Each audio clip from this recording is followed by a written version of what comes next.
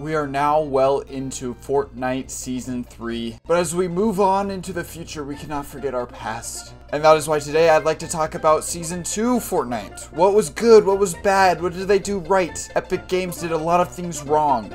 As always. I don't know. I'm talking out my ass pretty much. So for our video today, I'd like to talk about my personal opinions on a lot of the things they've done in Season 2 Fortnite. But I also gathered a lot of your comments, viewer comments, about what they liked, what their favorite part of Season 2 was, and their least favorite part. But I am the most important person. This is my channel, and I get to talk about my opinions first before I get to listen to all your bad opinions, okay? Before we talk about your bad opinions. I'm gonna take a first stab at this, okay? So... Let's talk about the theme of the season, Mythic Gods. That's a good theme. There's been times in the past where Fortnite picks a theme that's kind of just weird or broad, and then the Battle Pass characters don't all fit it that well. But this season really checks out with all the Battle Pass skins being Greek gods, or they're Greek, right? Yeah, they're Greek. And I really appreciate Fortnite when they can keep consistent theming within their Battle Pass and their season. So props to Fortnite there. I'm a little fool for map changes, okay? And in this season we got four new POIs, the only problem I had with it really is that they're kind of grouped together in a sense with two POIs in the top like left and then two POIs in the bottom right. They're grouped together, but at least it's like two different biomes, two new biomes, and very fun to play in like the, the cool like jump forward thing that the river gives you by the Grim Gate and stuff. Pretty cool. Speaking of the POIs being kind of grouped close together, that was my problem with the medallions and the boss fights. You had two medallion boss fights on opposite corners of the map and nowhere else had to deal with the mythic Greek gods, which just, that's kind of boring. That means you can play an entire match of Fortnite where it feels like just season one. It doesn't feel like season two because like maybe the circle's just like perfectly away from those POIs. Like, it's, it's just annoying like that, you know? Same thing with the medallions is that you can just farm two boss fights right off the bat. Like, the medallions aren't spread across the map right, which means the map is unbalanced, and more people want to land in the new places, which is kind of cool in a sense. But also that unbalances the map where everywhere else will be a ghost town, so that's kind of a problem. That's an issue in my opinion. The boss fights are a little long, they're a little too tough in my opinion, but I think how valuable the medallions help balance it out that it was worth fighting a boss to get the medallion.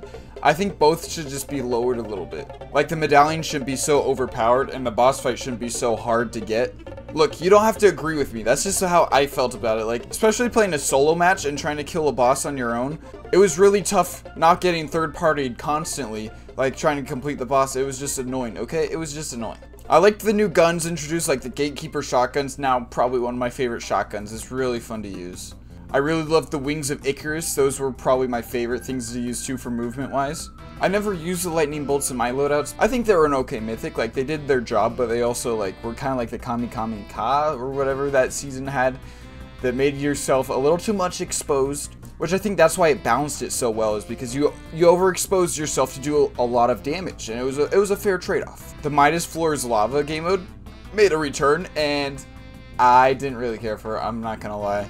It was more fun back in the OG Fortnite when no one knew how to build that well. Now everyone's just a sweaty gamer. It was just kind of annoying. I think the match should have regenerated a little bit faster. You just blew through them too fast. The storyline's a big problem that I kind of wanted to address.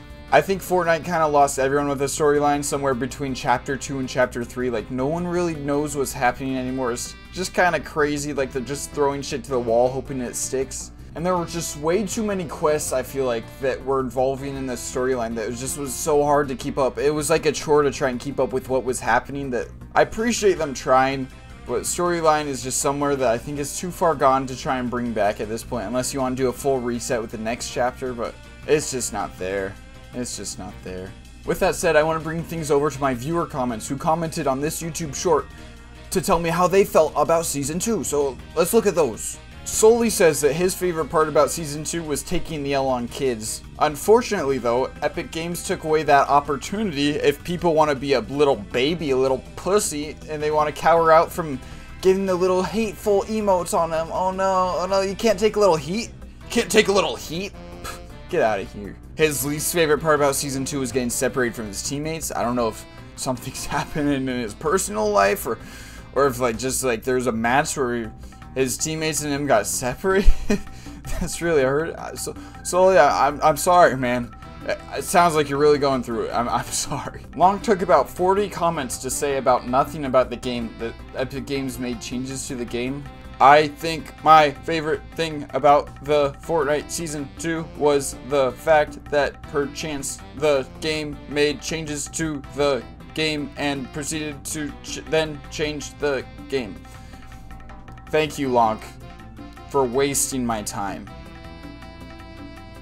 Mason said that he hopes there's going to be a Fallout collab about Season 2, which I don't know if Mason knows that there's a Fallout collab in Season 3, but there, unfortunately, I think I think that was his least favorite part, that there was no Fallout collab in Season 2. Floobby's favorite part about Season 2 is that it's ending because he was too hyped for Fallout. I hope the one skin he gets is good enough Hope that satisfies you, dude. This user said he loved the Greek mythology. I honestly have to agree with that. Like Zeus and Medusa and Cerberus and Hades, like having those as skins in Fortnite, they did a really good job with them. I have to agree that that was one of my favorite parts about the season, having some really cool skins that are like based on a real life thing. Well, I'm not going to say that I actually believe Greek gods exist, but like Greek mythology is a real thing, okay? Okay? Okay?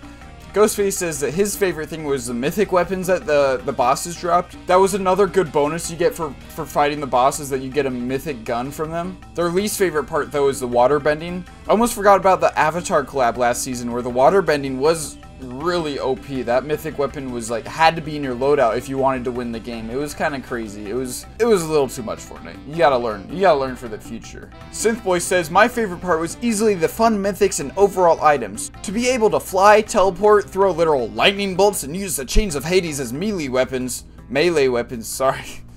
Got a little crazy there. Really speaks to what I love about the game. Its goofiness. I already touched on this previous. I agree, Synthboy. I really loved a lot of the mythic items. They're really fun to use. My least favorite part has to have been how quickly it felt like the story of the season fell apart in the middle. We had Midas come back with a new Floors Lava game mode, a reprisal of an old mythic and more, but then the story quest got repetitive, and while I loved the Avatar collab, it killed a lot of the strong momentum the season started off with. I will add though, that the Star Wars collab being more connected to LEGO Fortnite was honestly a good decision as it gives their second most popular mode some highlight without taking from Battle Royale. They should have capitalized on that with more stuff in Battle Royale. Though. Look, man, they celebrate Star Wars every May 4th. It feels like they celebrate it every three months. They, they have a Star Wars thing because you just know Fortnite profits off all those Star Wars skins that every time they bring it back, it just, I, I just feel like they don't have to do a grand thing for it. And they didn't do it really this time. Other than the Lego Star Wars stuff, which was pretty cool, that they just don't have to maybe just bring a new skin like they did. And it doesn't have to be a big event every time, I don't think. We touched on the story earlier. Yeah, that was one of the weakest parts of Season 2, I agree. My roommate Seth says his least favorite part of the season was probably how they made each game start with a 5 minute video of a grandma laughing while staring at the camera. Very weird creative choice.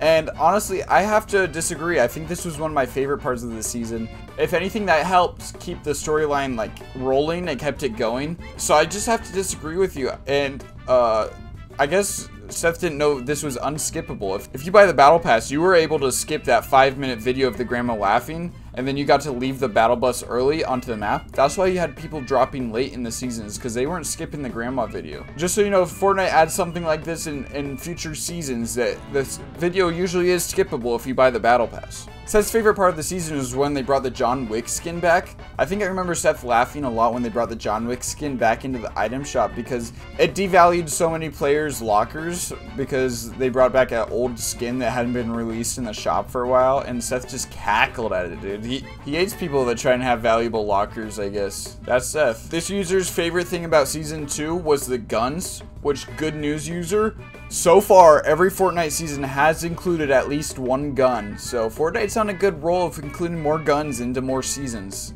The Rebel Dottie said that this season needed more booba, and I can't agree more. The last time we got enough booba had to be Season 6, Chapter 1 Fortnite, and I can't remember another time we got more booba. Matthew just said medallion. I don't know if that was his favorite part or, or least favorite part. He, he just said medallion.